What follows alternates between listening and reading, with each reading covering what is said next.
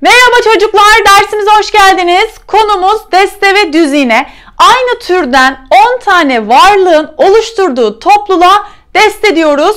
Görsellerimize bakalım birlikte. Kırmızı elmamız var. İkişer ikişer sayıyorum. 2, 4, 6, 8, 10 tane aynı türden varlık bir araya gelmiş değil mi? Bu durumda 10 elma bir deste elmadır diyebiliriz. Çünkü aynı türden varlık birinci kuralı sağladık. İkinci kuralda da 10 tane olması gerekiyordu. Diğer görsellerimize bakalım.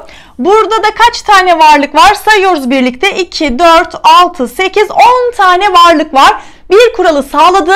Diğeri neydi? Aynı türden olmak zorundaydı.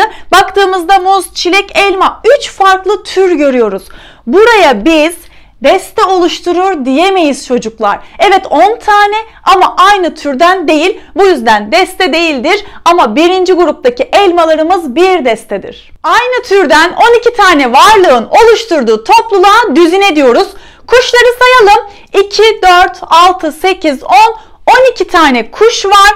Öyleyse 12 kuş bir araya geldiği zaman bir düzine kuştur diyebiliriz. Diğer gruba bakıyoruz. Bu grupta da 2, 4, 6, 8, 10, 12 tane varlık var. Kurallardan birini sağladı ama diğer kuralımız neydi? Aynı türden olmak zorundaydı. Aynı türden değiller. Bakın elmalar, muzlar, çilekler, havuçlar 4 farklı tür var. Bu durumda burası düzine oluşturmaz çocuklar. Ama kuşlar hepsi aynı türden ve 12 tane olduğu için bir düzine oluşturur. Diyelim ki deste ve düzine sayısını unuttuk, karıştırdık. Hangisi 10 tane, hangisi 12 taneydi? Aklımıza gelmedi. Bunu bulmak için size bir yöntem göstereceğim. Hemen defterinizin, kitabınızın bir köşesine deste, bir de düzine yazın. Yazdıktan sonra her bir harfi ikişer ikişer sayacağız. 2, 4, 6, 8, 10. Bakın destenin harflerini saydık. 10 sayısına ulaştık.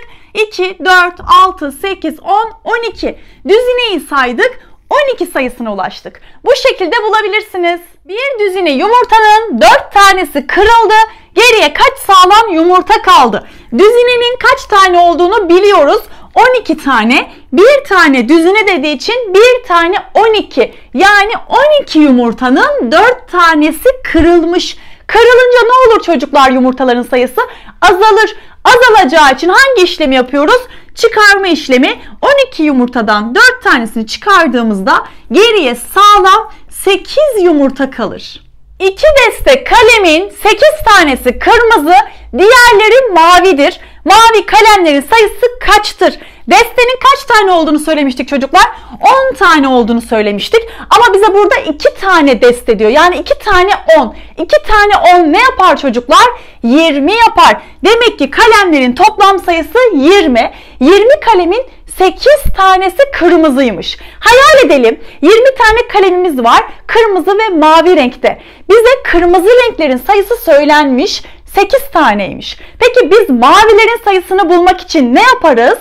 20 kalemin içinden kırmızıları çıkarırsak geriye kalanlar ne olacak? Mavi kalemlerin sayısı olacak. Yani burada çıkarma işlemi yapacağız. 20'den 8'i çıkarıyoruz. 12 kalem mavi renktedir. 7 elmayı bir düzineye tamamlamak için kaç elma gerekir? Bir düzine yani 12'ye tamamlamak istiyoruz. Elmaların sayısı 7 ve biz 12 olmasını istiyoruz. Bakın bu şekilde. Kaç tane elmaya ihtiyacımız var? Verilmeyen toplamını bulmak için 7'den 12'ye kadar sayabiliriz. 8, 9, 10, 11, 12, 5 elmaya ihtiyacımız var. 2 düzine çiçek, 2 deste çiçekten kaç fazladır? Düzine 12 taneydi. Destede 10 tane ama burada 2 düzine diyor. Yani 2 tane 12 ne yapar çocuklar?